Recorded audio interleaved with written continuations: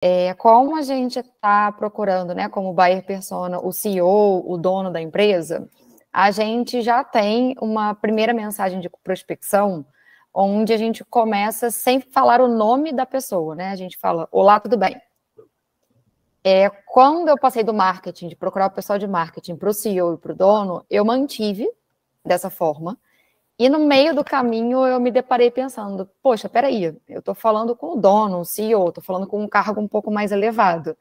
É, será que não seria interessante é, deixar talvez uma primeira impressão, ou se eu teria um aceite um pouco maior se eu colocasse o nome? Eu, de fato, passei a colocar o nome é, para testar. Em termos de taxa de aceite, não fez diferença para mim.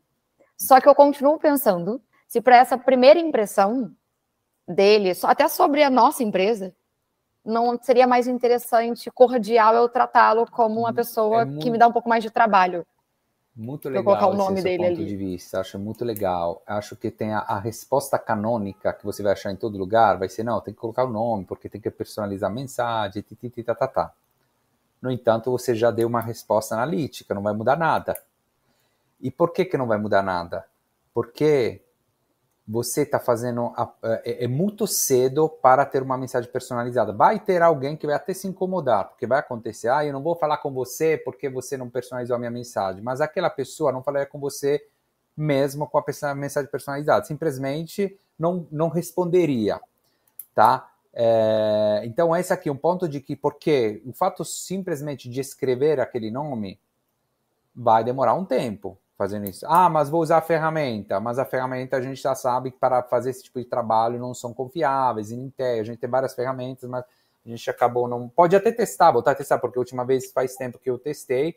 E aí fica mais essa questão, né? Por exemplo, Carol, se o Darwin, se vocês quiserem resgatar para fazer teste no Cata Cliente, só que o grande, o grande eh, gargalo dessas ferramentas, o Meet Alfred também, é que, por exemplo, elas não têm a possibilidade de fazer, de prospectar, dizer para ela prospectar uma pessoa por empresa por dia. Elas não têm ainda essa inteligência, simplesmente porque o filtro do LinkedIn não é confiável a esse ponto.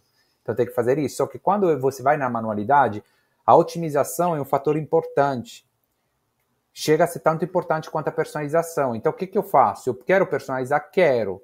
Mas como a personalização tem um custo, eu preciso entender se eu personalizar, que retorno que eu tenho dessa personalização? E você já deu a resposta tá? E aí pode fazer, eu não sou contra, tá? Que seja claro. Só que saiba que no começo faz sentido fazer o teste que você faz, provavelmente outro segmento aqui vai ser é, diferente. Pô, vou fazer daquele jeito, a minha taxa de resposta aumentou de 40%, faz sentido.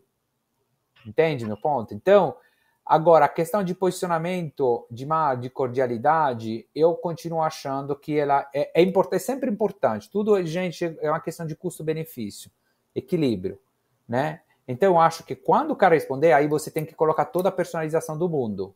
Sai do mundo script. Aí sim.